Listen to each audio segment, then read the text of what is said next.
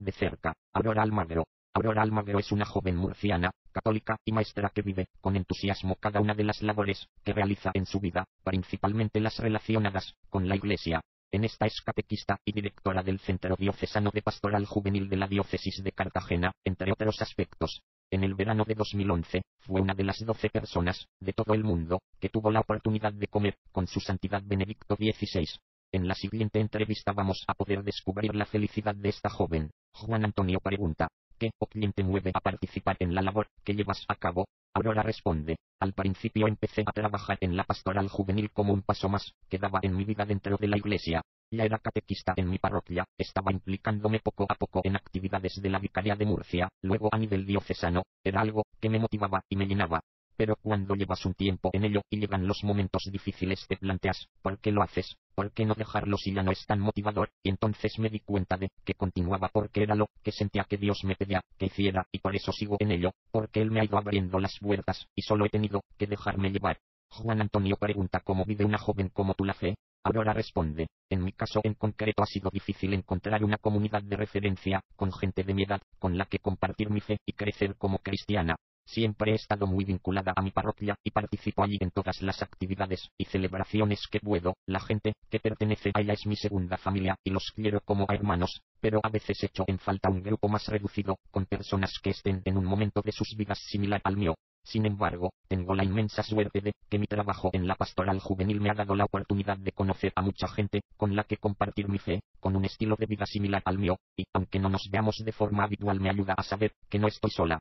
Juan Antonio pregunta en qué consiste ser directora del Centro Diocesano de Pastoral Juvenil. Aurora responde, el CDPJ es un organismo dentro de la Delegación de Pastoral Juvenil, que se creó con el objetivo de que los propios jóvenes fuéramos los que evangelizáramos a otros jóvenes, ya que somos los que mejor conocemos los intereses que una persona tiene a nuestra edad y podemos llegar mejor a ella. Mi tarea entonces consiste en coordinar esta labor que hacemos y valorar, junto con todo el equipo con el que el CDPJ cuenta, cuáles son las necesidades que en cada momento pueden surgir en nuestra diócesis de Cartagena con respecto al trabajo con jóvenes. Juan Antonio pregunta a jóvenes en la iglesia. Aurora responde, por supuesto que los hay, pero no vamos con una etiqueta puesta sin intención de ofender a cualquier estilo o filosofía de vida. Ahora que están tan de moda las tribus urbanas, los cristianos no nos identificamos vistiendo de una forma en particular o escuchando un determinado tipo de música. A nosotros se nos reconoce por nuestros actos y en la sociedad en la que vivimos a veces la gente está muy ocupada como para fijarse en los demás, solo nos miramos a nosotros mismos y no sabemos reconocer la presencia de Cristo en lo que otros hacen.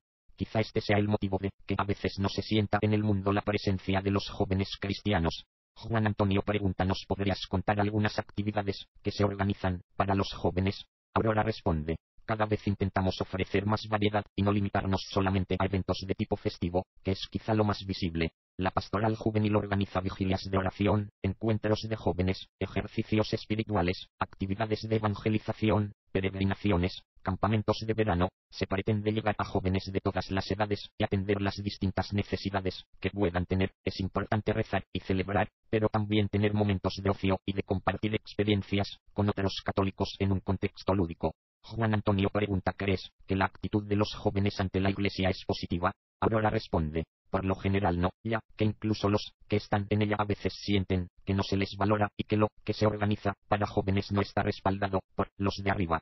Yo sé que nuestro obispo conoce y apoya el trabajo de la pastoral juvenil y obviamente el Papa también apuesta por los jóvenes, como demuestra en cada jornada mundial de la juventud.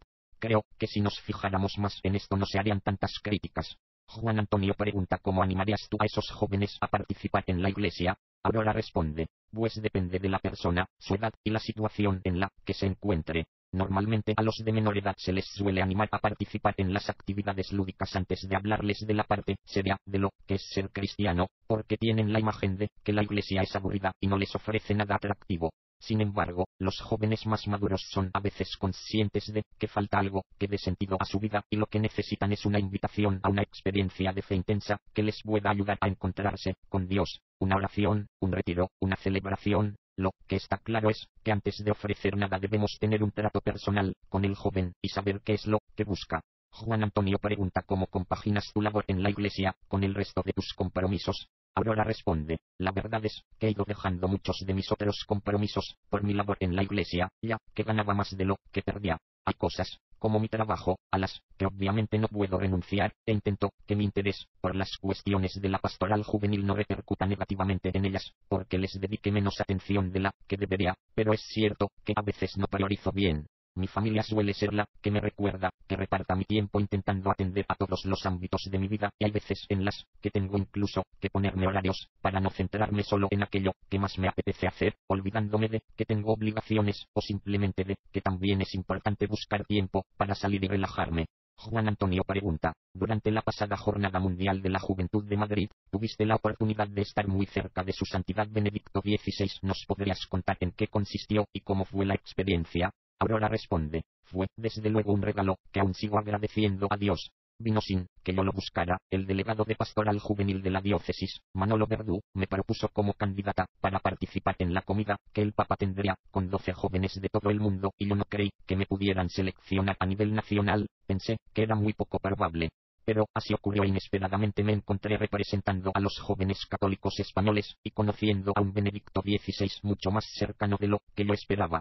Al volver a casa tras la JMJ y reflexionar sobre lo vivido, fue cuando más valoré la experiencia que había tenido y me di cuenta de que conocer al Papa y sentirme escuchada por él había renovado mis ganas y mi ilusión por seguir implicada en todo lo que hago en la Iglesia. Juan Antonio pregunta, respecto al reciente anuncio de la renuncia al pontificado por parte de José Ratzinger, ¿qué opinas? Aurora responde, confío plenamente en el criterio del Papa y creo que es una persona inteligente y sabía que habrá meditado mucho antes de tomar esa decisión. Realmente si él cree que no dispone de las fuerzas necesarias para desempeñar su cargo y por eso renuncia es de alabar su humildad, su sentido de la responsabilidad y su amor a la Iglesia.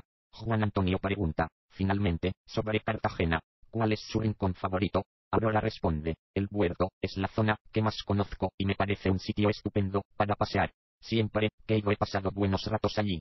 Juan Antonio pregunta a qué cartagenero barra admira más. Aurora responde, pues, sinceramente, no sabría decirte a alguien en concreto, y menos aún a algún personaje conocido. No, por el hecho de que no conozca a ninguno, sino porque tampoco podría nombrar a alguna persona ilustre de cualquier otro lugar a quien realmente admire, por algo que haya hecho.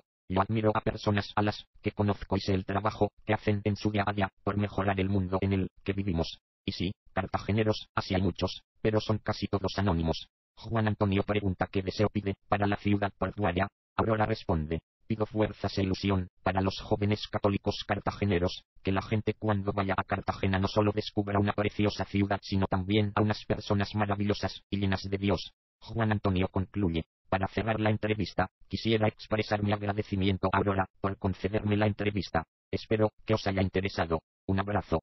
Ciudad Portuaria. Un blog de Juan Antonio Gutiérrez.